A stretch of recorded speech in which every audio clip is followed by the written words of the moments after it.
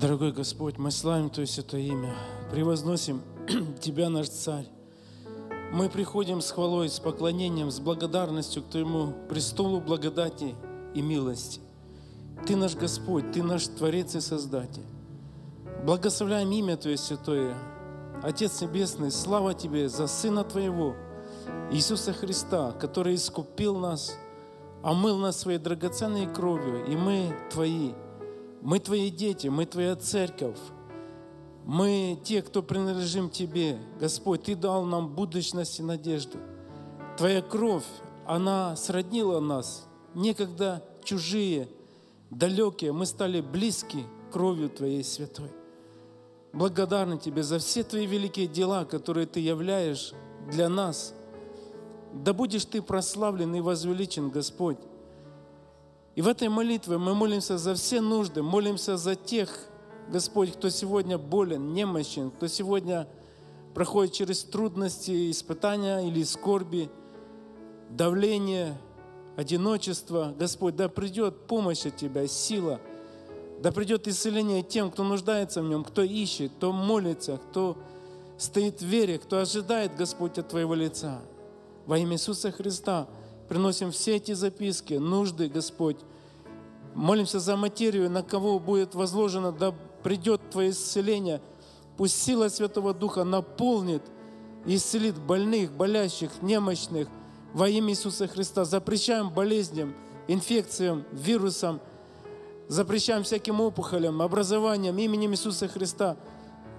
Запрещаем диабету, запрещаем гепатиту именем Иисуса Христа – Господь наш целитель, и Ты посреди нас. Твоя рука не сократилась, чтобы спасать. Твое ухо не тяжелело, чтобы слышать, Господь. Молимся за Файрузу, сестру, Господь, за исцеление ее ноги, Господь. Да придет исцеление во имя Иисуса Христа. Господь наш благослови, Ты знаешь нужды детей Твоих. Ибо Ты усматриваешь всякую нужду по богатству благодати и милости Твоей. И Ты посреди нас, великий наш Бог. Благослови каждого, кто сегодня пред Твоим святым лицом, каждого, кто постится, каждого, кто сегодня обращается к Тебе в молитве, кто ищет Твоего лица, кто ищет Твоего откровения, Слова, водительства Твоего Духа, кто нуждается, Господи, в Тебе, Ты благословляешь и насыщаешь благами просящих у Тебя. Вся слава, вся честь Тебе.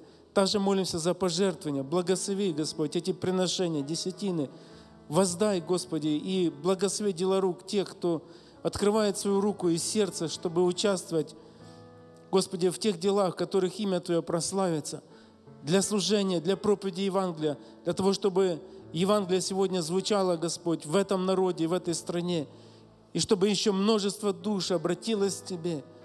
Господь, мы в этот день также молимся за Израиль и благословляем этот народ, благословляем Твой, э, Твой народ, Господи, который Ты избрал, которому Ты открыл свои обетования и дал свое слово. Благослови этот народ.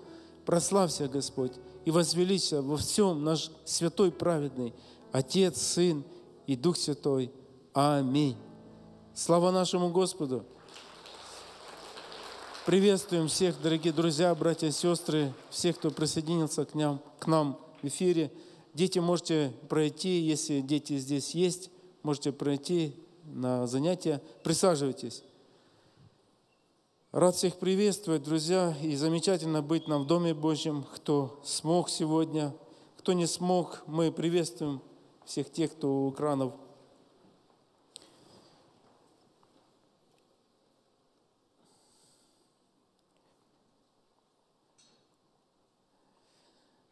Однажды апостол Павел сказал, великое преимущество быть иудеем во всех отношениях, а наипаче в том, что им верено Слово Божье.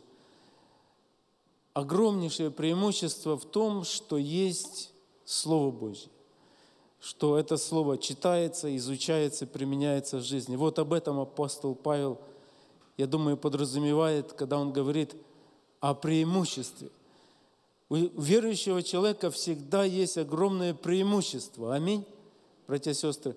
Бог открыл нам свое слово, Он открыл нам свои заповеди, Он открыл нам свой характер, Он открыл нам свою святость, свое величие, Он открыл свои великие дела.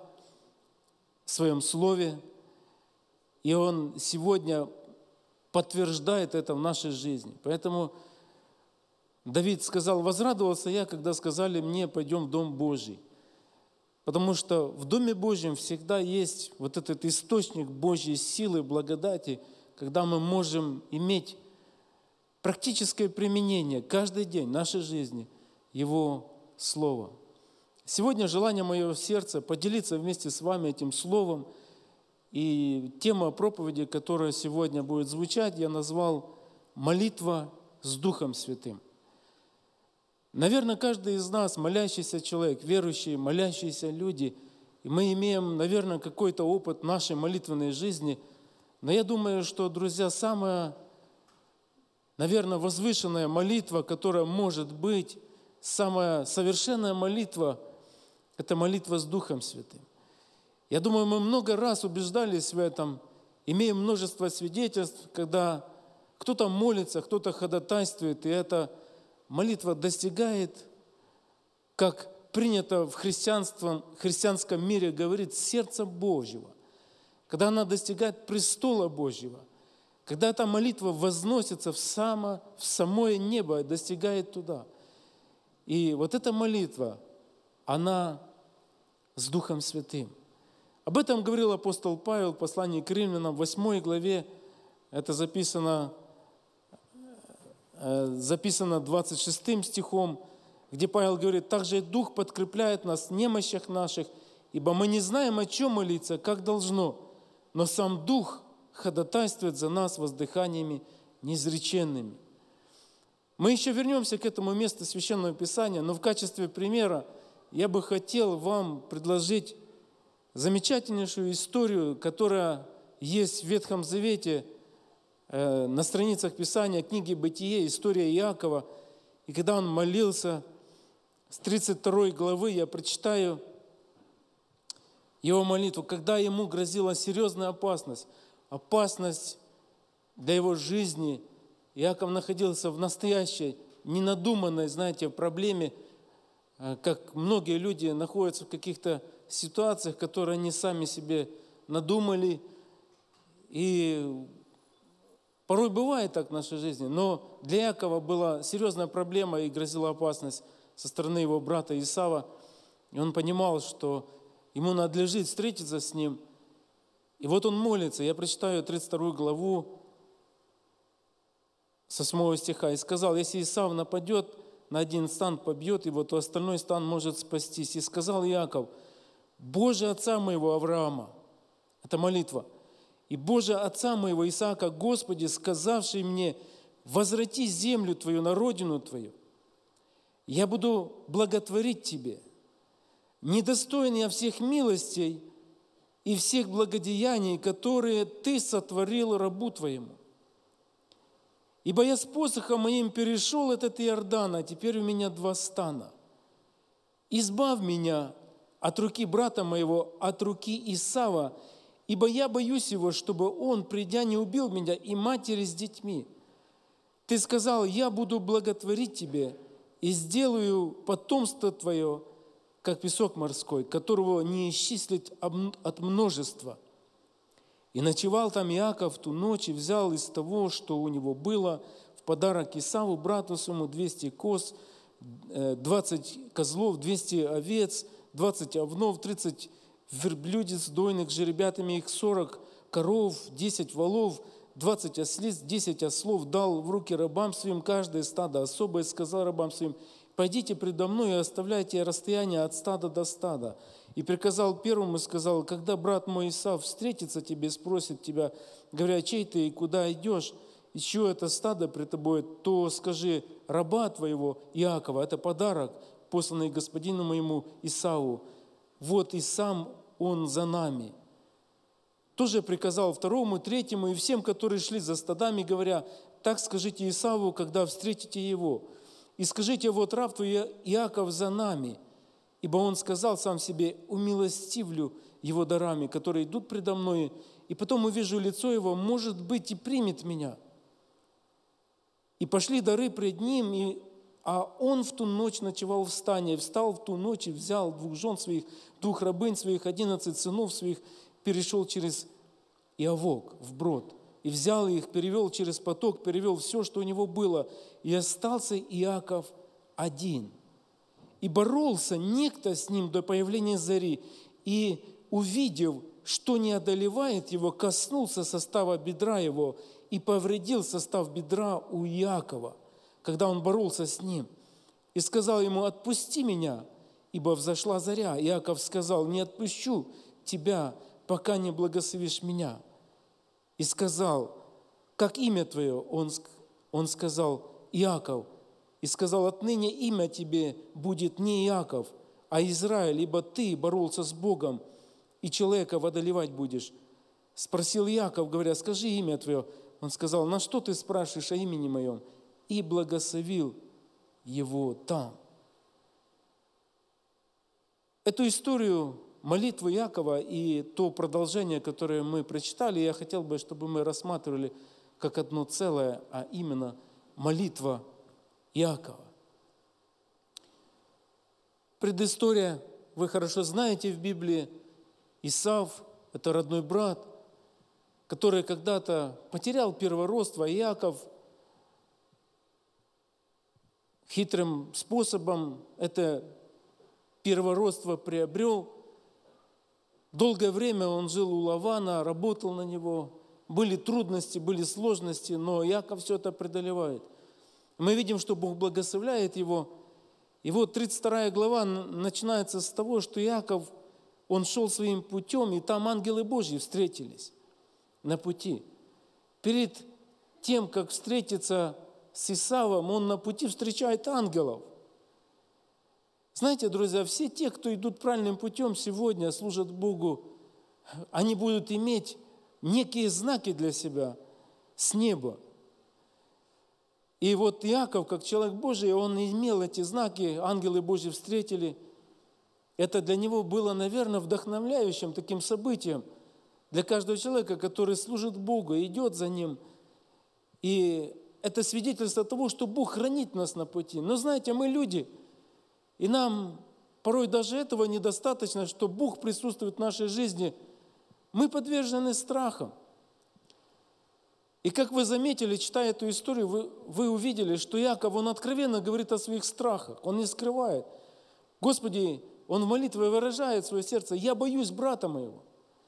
Я боюсь этой встречи, потому что он идет навстречу ко мне, и как ему сказали, возможно, это сказала Ревека, поведала о том, что Исав в Сеире, и сказала о том, что он все еще враждебно настроен, и свидетельство того, что он враждебно настроен, с ним 400 человек, непростых людей, но они вооружены, эти люди сильные. Наверное, хватило бы десятой части из этих 400 человек для того, чтобы уничтожить Иакова, его жен, его детей и тех, не, то небольшое количество слуг, которые там с ним были. И поэтому Яков понимал, что, что встреча-то будет непростая. Исав был настроен очень серьезно. Наверное, он дышал угрозами, наверное, он шел, знаете, и вынашивал долго в своем сердце ожидая вот это, этого момента, когда наконец-то я смогу отомстить. Вы должны помнить, читающие Библию, как Исав поклялся, что он убьет своего брата. Но Яков, почему он шел, почему он двигался вообще в этом направлении, вы должны помнить в том, что Бог ему сказал, что ты должен возвратиться в землю отца своего. И вот Яков в послушании делает это – Наверное, не очень хотелось бы, но он послушание просто следует тому голосу Божьему, который он уже научился слышать. И, конечно, для Исава это самый наилучший способ, чтобы отомстить. И мы видим здесь, как Иаков поступает, как человек мудрый. Он пытается обрести вот это расположение своего брата. Он делает все для этого возможного – возможное с своей стороны.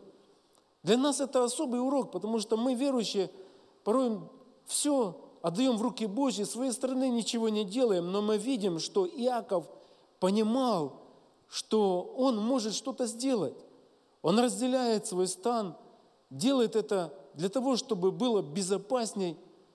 Он собирает определенное число животных. Заметьте, он не золото, не серебро, не одежды, а именно 50, 580 животных. Наверное, те, которые, как он подумал, те пестрые. Помните, когда он выращивал особым способом этих животных, и он знал, что Исав, он зверолов, наверное, он больше всего любит хороших, хороших особей животных, то есть он делал это от всего сердца.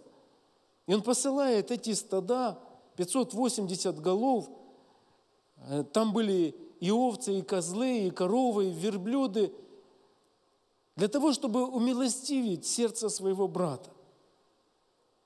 Он был напуган.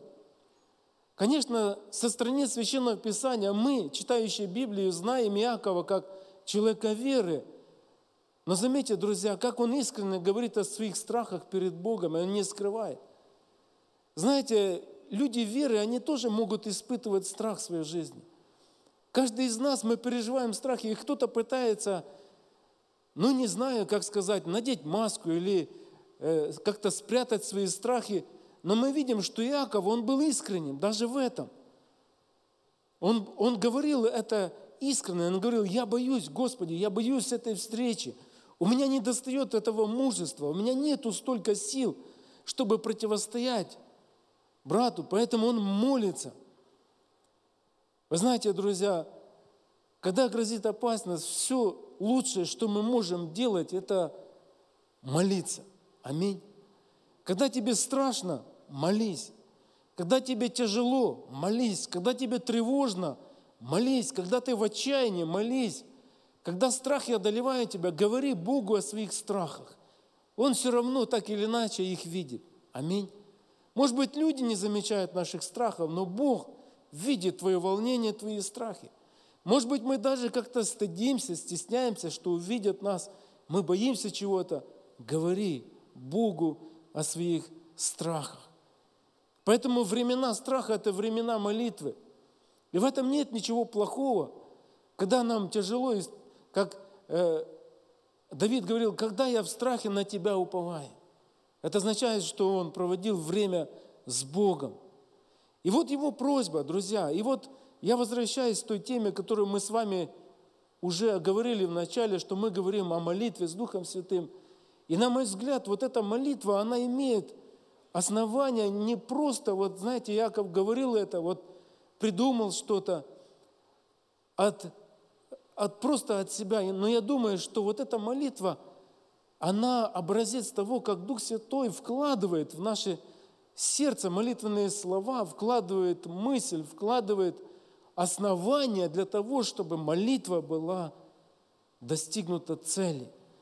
И вот его просьба, она очень выразительна, она очень проста. Он говорит, избавь меня от руки брата моего, избавь меня, молю тебя. Заметьте, Бог ответил на его нужду, и как Иаков обращается, он обращается к Богу, каждое слово, оно исполнено глубочайшего смирения. Вот этот дух смирения присутствует на протяжении всей молитвы. Я по-особенному хотел бы подчеркнуть вот это смирение, которое присутствует в молитве. Наверное, Иаков, который двигался в послушании, и ему приходилось, может быть, делать не то совсем, что хотелось бы для него, но он исполнял то, что Бог ему говорил. И он обращается к Богу отцов своих. Он даже не говорит, что «Господи, Ты мой Бог». Он настолько смиренный, он говорит «Бог Авраама, Бог Исаака, он обращается, потому что он себя считал даже недостойным. Вы знаете, друзья, нет ничего плохого считать себя недостойным милости Божьих. Иаков открыто говорит об этом в своей молитве. «Я недостоин всех Твоей милости». Нет ничего плохого считать себя недостойным. Почему? Потому что оно так и есть. Мы недостойны всех, даже самых малых милостей, которые Бог нам дает. Мы порой привыкли так все принимать от жизни. Мы встали, мы видим глазами, мы дышим, мы слышим, мы но мы при этом бываем недовольны, забываем поблагодарить даже Бога за это, что мы можем ходить, можем есть, можем видеть, можем дышать, у нас ничего не болит. Но даже за это мы не благодарны Богу. А ведь это Его милость, каждодневная милость в нашей жизни. Мы как служители сталкиваемся каждый день с нуждами людей, и вы можете видеть эти нужды, которые отображены в эфире, которые звучат. Друзья мои, люди молятся, обращаются к Богу. Сегодня множество нужд есть, которые звучат. Но те, которые у нас есть здоровье, есть силы, мы даже за это бываем, забываем благодарить Бога. Так вот, Иаков говорит, что, Господи, недостоин всех милостей Твоих. По сути, он был достойным человеком, и он очень достойно вел себя, помните, помните своим дядей Лаваном в общении, он справедливо всегда настаивал на своих заслугах и так дальше, но перед Богом он говорит, Господи, недостоин. Недостоин.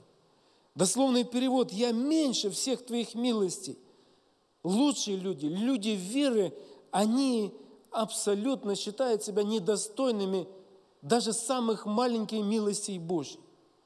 Великие люди веры всегда очень глубоко смиренные, потому что они имеют общение с Богом, они видят Его святость, они видят все эти милости, они замечают в своей жизни все эти милости Божьи. Плохо, когда мы не замечаем эти милости Божьи. Поэтому величайшее откровение, которое от Духа Святого приходит в нашу жизнь, заключается в том, что ты видишь эти милости Божьи – каждый день своей жизни. Есть замечательный христианский гимн, псалом. Я помню, в раннем, когда мы только обратились к Богу, мы пели его «Милости Господни замечай, считай». Помни все милости Божьи. И вот следующее основание в его молитве, которое Дух Божий ложит в его сердце, Господи, сказавший мне, возвратись в землю. То есть он не просто покинул то место, где он обитал, там у Лавана, чтобы попутешествовать, или из-за своей прихоти, или еще что-то. Это было послушание Богу.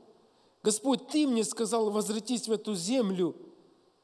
Вы знаете, это была обязанность для него, это был долг, который он чувствовал перед Богом. И на пути долга он встречает трудности. Друзья мои, кто из вас находится в служении на пути своего долга, на пути своих обязанностей перед Богом, перед Его народом? Кто из вас встречает трудности? Часто накатываются слезы на глаза. Часто мы говорим, Господи, я же служу Тебе, почему у меня так и так?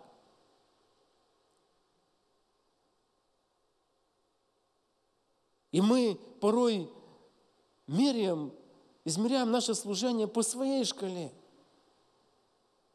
Точно так же, как процветание, оно не удостоверяет нашу праведность, страдание не является доказательством того, что мы на правильном пути. Единственным подтверждением того, что Бог гарантирует нашу защиту, безопасность, это послушание Ему и делать то, что Он нам говорит. А мы часто дел, мы меряем того, что мы у нас процветание, значит, Бог меня любит. У меня страдания, значит, все плохо. Ни то, ни другое не является показателем. Твое смиренное послушание Слову Божьему, твое смиренное послушание тому, что Бог тебе говорит. Иаков положил это в основание своей молитвы. Он не жалуется Богу, он не говорит, Господи, эти проблемы потому, что я вот тебе послушен. Ты ведь мне сказал уйти, а теперь у меня беда, проблема. Иса ведет, с ним 400 человек. Я боюсь. Нет, он смирение излагает свою нужду. Друзья, давайте мы посмотрим, как мы излагаем свои нужды. Часто наши нужды звучат Богу как претензии. Господи, я ведь служу Тебе. Почему вот столько лет у меня вот, вот так и вот так? Посмотри на эту молитву. Посмотри, как молится Иаков. И он с благодарностью признает милость Божью в своей жизни.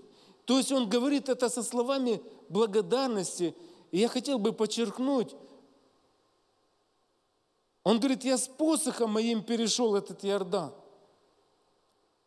То есть он был одинокий, он был как пилигрим, у него ничего не было, ни друзей, ни спутников. Единственное, что у него было, это посох. На что он мог опереться, это посох.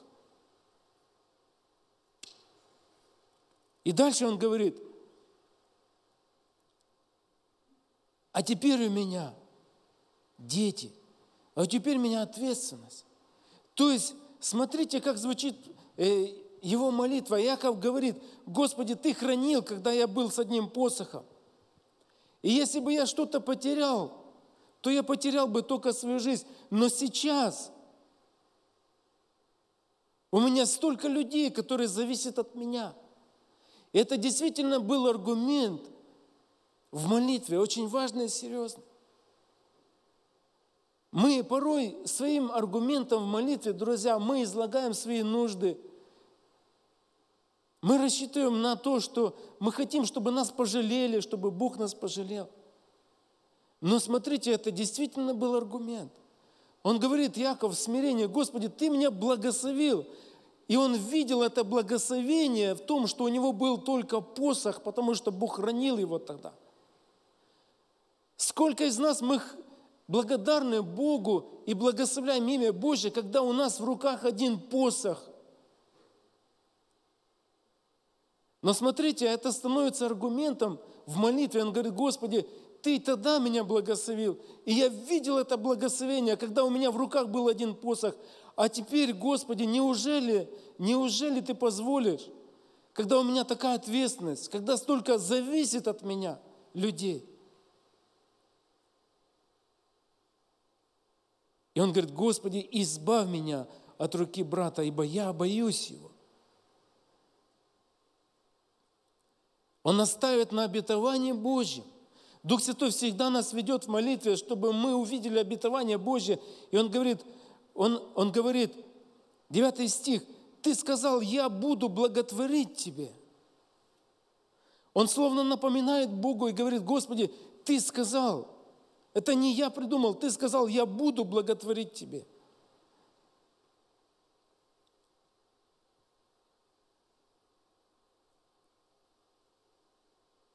Смотрите, друзья, как люди становятся великими.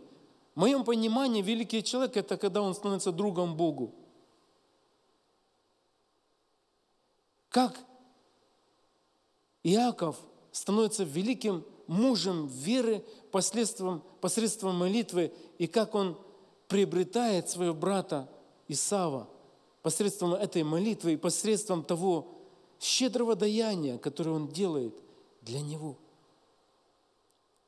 Он посылает ему подарок, и дальше мы видим, что у потока это как продолжение той молитвы, некто встречается, и он борется.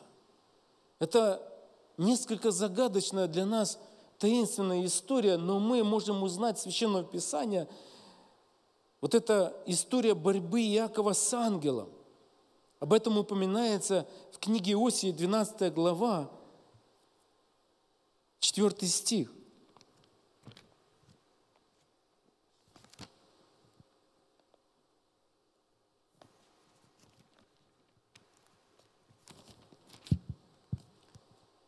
Он боролся с ангелом и превозмог. Плакал и умолял его. В Вифиле он нашел нас там и говорил с нами. Казалось бы, что сам Бог выступил против Иакова и был ему противником. Вы знаете, эта история напоминает мне, помните женщину хананиянку, которая пришла к Иисусу своей нуждой о своей дочери. И помните, как Господь ей ответил? Вначале он вообще не отвечал, а потом ученики обратили внимание, сказали, она идет за нами. И помните, Господь повернулся и сказал ей, нехорошо взять хлеб у детей и бросить псам. Очень ясно. Наверное, очень так неприятно для этой женщины было. Но смотрите, как она говорит отвечает. Господи, но и псы питается крохами, падающих со стола. И после этих слов Господь поворачивается к этой женщине и говорит, о, женщина, велика вера твоя. Не кажется ли вам, друзья, что вот история Якова и, история этой женщины похожи? Словно Бог противостоял Якову. И вот здесь ангел, в лице ангела, он борется. Иаков борется. И Бог выступает как противник. И это, казалось бы, усугубляет его испытания – и мы находим подтверждение у книги пророка Оси, как мы прочитали, что Яков плакал и умолял. Но заметьте, что в этой истории мы находим, что Иаков все-таки добился своего. И ангел не одолел его, но он боролся и одолел. Как это вообще возможно? Как можно бороться с Богом и одолеть его? Как можно бороться с ангелом и одолеть его? Я думаю, это единственный случай, если Бог даст тебе благодать на это. Конечно же, мы, как Иов говорил, и он образно говорил, 23 глава 6 стих, неужели Он, то есть Бог, в полном могуществе стал бы состязаться со мной? Если бы Бог употребил всю свою силу, конечно, Яков бы не устоял. Но Бог наделил его соответствующей верой, силой, духом, основаниями молитвами, всем тем, чтобы он выдержал. Вопрос, для чего, зачем? Для того, чтобы твоя вера стала сильней.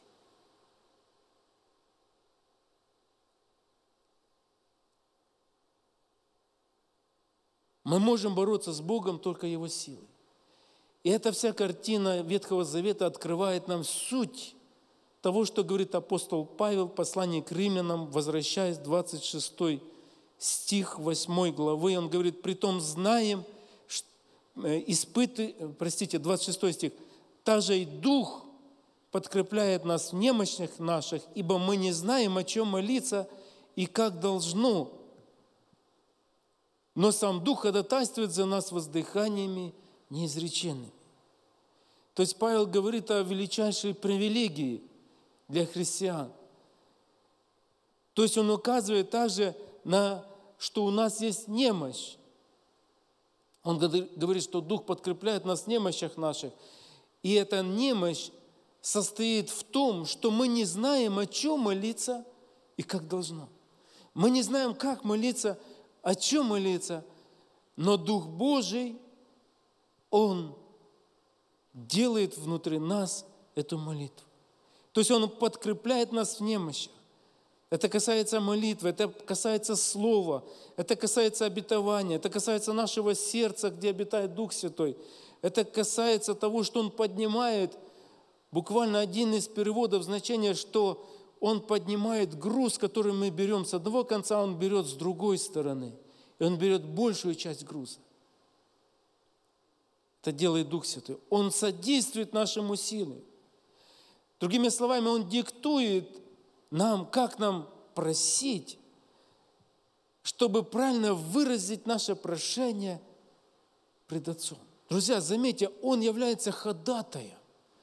Он является ходатаем внутри нашего сердца. Иисус Христос является ходатаем где? На небе, пред престолом Отца Небесного. А Он является ходатаем в нашем сердце. И молитва исходит из сердца. Это Божий порядок. Вы можете увидеть это в жизни Моисея, вы можете увидеть это в жизни Анны, как она молилась. И когда речь идет о воздыханиях неизреченных, то когда священник смотрел на Анну, он вообще думал, что она пьяна. Но в ней были воздыхания неизреченные, и он не понимал ее, будучи священником, не понимал молитвы, но она так молилась, выглядела как пьяна, но молилась, изливала свое сердце пред Богом. Это было непонятно для людей, но это было понятно для кого? Для Бога. Неизреченные слова. Представьте себе, что вам надлежит встретиться с президентом – я думаю, вы будете учитывать все детали, как одеться, как это. Вы будете спрашивать, как составить какое-то обращение, как говорить, как, что не делать. А представляете, пред престолом Божьим нам представать, молитвы наши, излагать наши просьбы. Это намного выше, намного больше. Для человека честь стоять перед президентом, но намного больше стоять пред Богом, предстоять в молитве пред Ним, излагать свои нужды. Подкрепляет нас в немощах наших. И дальше, испытывающие сердца знает, какая мысль у Духа. То есть Дух Божий по воле Божьей, Он излагает наши молитвы, Он составляет их и приносит пред лицом Отца Небесного. Конечно, для лицемера все благочестие, оно на кончике языка, но Бог смотрит в сердце, Он видит сердце. А для искреннего человека нет ничего более утешительного, зная и понимая то, что Бог смотрит в его сердце. И наша искренность, она пред Богом тогда, и полнота нашей молитвы тогда, когда она с Духом Святым. Друзья, как нам важно сегодня научиться так молиться. Столько у нас сегодня есть свидетельств того, как Дух Святой, побуждая кого-то, может быть, среди ночи, поднимая кого-то, молясь, и потом кто-то говорит тебе, ты знаешь, у меня была такая сложная ситуация, и ты сверяешь часы и говоришь, да, в это время ты молился, или кто-то за тебя молился, и для тебя есть такое свидетельство, подтверждение того, что Бог кого-то поднял. И Дух Святой побудил кого-то молиться о том, чтобы твоя заступническая молитва кого-то защитила. И человек находился, может быть, в такой крайней ситуации, безвыходной ситуации. И Бог вышел, и Бог помог. Помните Даниила, который молился? И написано, в те дни Даниил сообразил по книгам число лет, которое должно исполниться над Иерусалимом. Это число было 70 лет, и как раз пришло исполнение – и Дух Божий побудил Даниила в эти дни поститься, молиться. То есть он говорит, вкусного хлеба не ел, не умощал себя, напитков не пил, чтобы достигнуть разумения, понимания, Господи, почему 70 лет исполнилось, но почему мы находимся в таком состоянии, почему Иерусалим еще в... И приходит ответ – и архангел Михаил, который, скорее всего, олицетворяет Господа Иисуса Христа, пришел и говорил с ним, и говорит, слушай, с первого дня, как ты расположил сердце, молитвы твои услышаны. И я бы пришел по словам твоим, но царь царства персидского стоял против меня 21 день. Нечто происходило.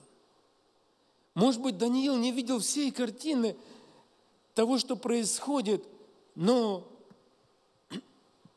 благодаря тому, что побуждаем Духом Божьим в молитве и продолжая молиться, что-то произошло. И я имею в виду, не только пришло понимание Даниилу и откровение, но что-то вообще изменилось и произошло. Помните, есть замечательный стих в Библии, в Ветхом Завете, я не, не открою сейчас вам, не записал его, когда Бог говорит, искал я человека, который стоял бы, который стал бы в проломе и не нашел. То есть Бог ищет сосуды, Бог ищет человека. Дух Святой сегодня ищет людей, которые будут молиться, которых Он желает употребить для молитвы. Иаков был сосудом Божьим, когда Бог употребил его, чтобы защитить свою семью, защитить наследие, защитить детей. Он молился, как Осия говорит, он со слезами, он молился, он умолял, он плакал, сокрушался пред Богом. Часто то сокрушение, которое приходит в нашу жизнь, и я предпочитаю такое сокрушение, которое приходит от Духа Божьего, когда Дух Божий сокрушает наше сердце. Когда не просто мы излагаем свои жалобы, сокрушаемся, нам жалко себя. Не просто человеческое наше, естественное такое сокрушение, но когда Дух Божий сокрушает нас. когда Он вкладывает бремя, когда Он нежно стучит и напоминает, о чем мы должны молиться, и как должно, и сколько молиться. Это молитва с Духом Святым. Друзья, мы сегодня постимся, молимся как церковь. Каждый день у нас обозначены нужды, за которые мы молимся. И сегодня я верю, что Дух Святой усматривает такие сосуды, Он знает. Давайте будем открыты для Бога, для того, чтобы Господь использовал нас. Давайте будем этими сосудами, молитвенниками, людьми молитвы, которые открыли свое сердце для Бога, чтобы Он наполнял нас. Потому что так, такие молитвы, они там, пред Господом, такие молитвы, они решающие они определяющие.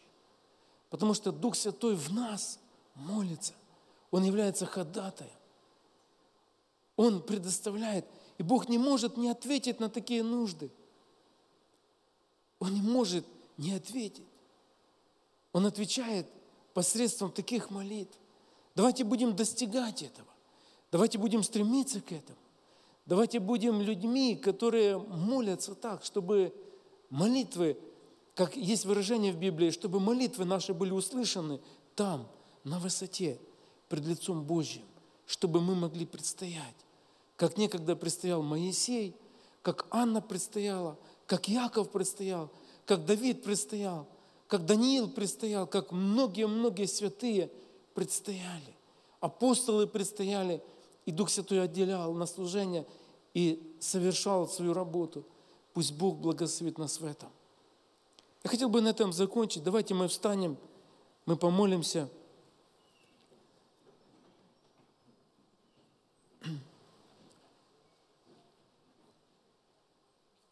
Я бы хотел обратиться к тем людям, кто еще не, не обращался к Богу.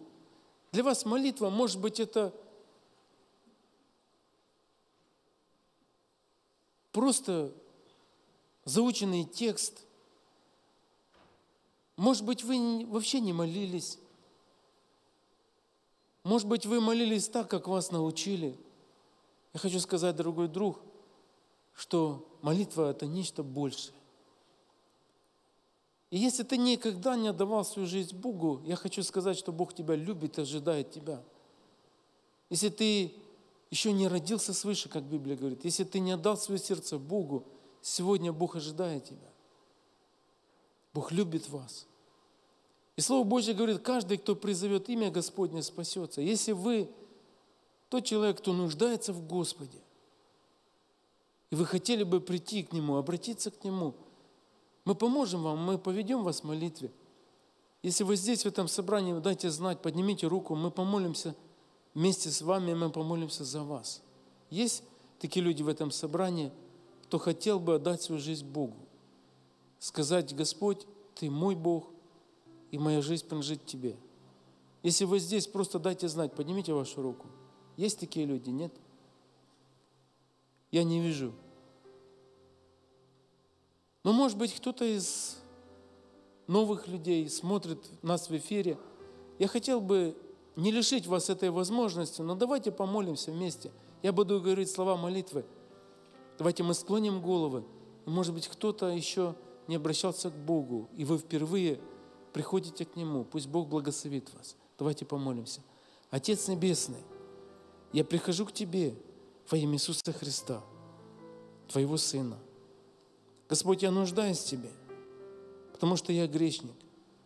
Прости все мои грехи. Будь моим Господом и Спасителем. Я даю Тебе мое сердце. Я верю, что Ты умер за меня и воскрес мое оправдание. Слава Тебе! Аминь. Когда вы так помолились, верьте то, что Бог слышал вашу молитву, и Он любит вас. Дайте нам знать, сообщите нам, позвоните по телефону горячей линии, и благослови вас Господь. Церковь, давайте мы еще помолимся. Отец Небесный, во имя Иисуса Христа, мы приходим к Тебе, нашему Богу. Господь, Ты один достоин славы, Ты один достоин поклонения и хвалы. Ты наш Бог. Ты наш Царь, и Ты наш Спаситель. И мы благодарны за все, что Ты делаешь в нашей жизни. Господь, помоги нам быть людьми веры. Помоги нам быть людьми молитвы. Помоги нам быть, быть этими сосудами чистыми, которые Ты желаешь использовать. Помоги нам быть людьми, которые Дух Божий использует. Наполняй нас, Дух Святой. Наполняй каждое сердце. Наполняй каждого, кто сегодня открыл свое сердце для Тебя, кто желает молиться, кто желает искать Тебя, кто ищет Тебя всем сердцем. Дух Святой, мы нуждаемся в Твоем святом присутствии. Мы нуждаемся, чтобы Ты говорил нам, чтобы Ты сегодня изменял нас, чтобы Ты, Господь, преображал всю нашу жизнь и делал нас такими, которые угодны Тебе. Тебе мы воздаем славу, честь и хвалу. Бог Отец, Сын и Дух Святой. Аминь. Слава Господу, будьте благословены.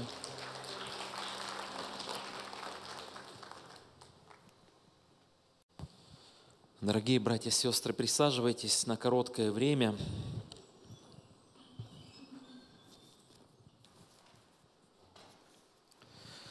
И сейчас у нас будет молитва, и я перед этой молитвой хотел бы сказать слово. Сегодня у нас 14 день поста Даниила, и мы молимся за Иерусалим, за Израиль, мы молимся за еврейский народ.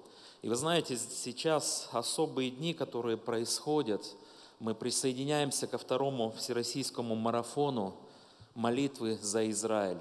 27 числа, 27 января, этот день освобождения из лагеря смерти Освенцем, который был в 1945 году, где были уничтожены 1 миллион 400 человек. Из этих 1 миллион 400 человек, 1 миллион 100 это были евреи, мирные граждане. И в этот день мы молимся – я хотел бы открыть местописание, посмотреть с вами, потому что Божье Слово побуждает нас к молитве. Давайте откроем местописание э, Исаия, 62 глава, и прочитаем первый и шестой, седьмой стих. «Не умолкну ради Сиона, и ради Иерусалима не успокоюсь, доколе не взойдет, как свет правда его, и спасение его, как горящий светильник. Шестой стих. «На стенах твоих, Иерусалим, я поставил сторожей, которые не будут умолкать ни днем, ни ночью. О вы, напоминающие о Господе, не умолкайте, не, не умолкайте перед Ним, доколе Он не восстановит и доколе не сделает Иерусалима славою на земле». Мы видим, есть некое наставление, чтобы мы молились, благословляли. Мы церковь, мы призваны благословлять Иерусалим, Израиль. Этот город очень много раз разрушался и восстанавливался.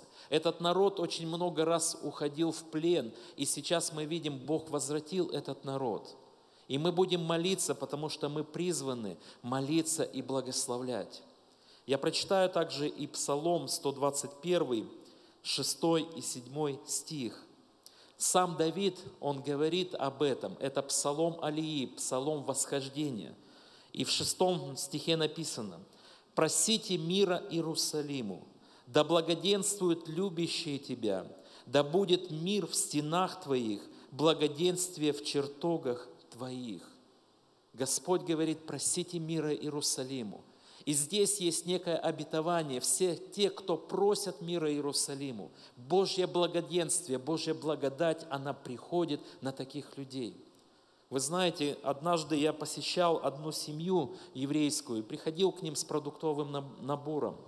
Пожилого человека звали Аркадий Нужденко, и он принял меня в свой дом. И он спросил, кто вы и что вы. И я рассказал, что мы христиане, те, которые молятся и благословляют еврейский народ – и помогают им вернуться в Израиль. И он рассказал свою историю, как маленьким мальчиком он остался без родителей. И когда он проживал на Украине, это было время, когда началась война. И родители его, они просто толкнули в какую-то семью, когда их вели на расстрел. И эта семья, она сохранила его. И он говорит, я находился в верующей хри- христианской семье. И эти люди, они рисковали своей жизнью, пряча меня несколько лет – и он говорил, когда были обыски у нас в доме, я, говорит, прятался в собачьей будке. Немецкие офицеры боялись собак, они не подходили туда. И он говорит, я был спасен. И вы знаете, этот человек, он благодарен тем людям, которые спасали, тем людям, которые помогали. В Бытие, в 12 главе, в 3 стихе Бог говорит, «Благословляющих тебя, Авраам, и твое семя я благословлю, а злословящихся тебя я прокляну». Мы как церковь призваны благословлять, мы как церковь призваны молиться. Давайте мы сейчас подымемся и будем молиться за Израиль, будем молиться за Иерусалим, будем просить мира Божьего. Этот мир, он приходит туда. И также Божье благословение приходит на нас, на Церковь Божью. Дорогой Господь, мы благодарим Тебя сейчас, Господь, за эту возможность, Господь. И мы в посте, в молитве, и мы молимся, и мы благословляем сегодня Израиль, благословляем сегодня Иерусалим, благословляем еврейский народ. И мы просим, пусть Твой мир, Господь, наполнит их сердца, наполнит эту страну. Они так нуждаются в мире. Я прошу Тебя, Господь, за все те семьи, которые пострадали в этой жертве, Господь Божий, в этом Холокосте. Я прошу Тебя, пусть Твое утешение придет во имя Иисуса Христа. Мы как церковь молимся об этих людях, Господь Божий. И мы не отказываемся, Господь Божий, но мы хотим заступиться. Мы хотим встать в проломе, чтобы Ты сделал Иерусалим славою на земле.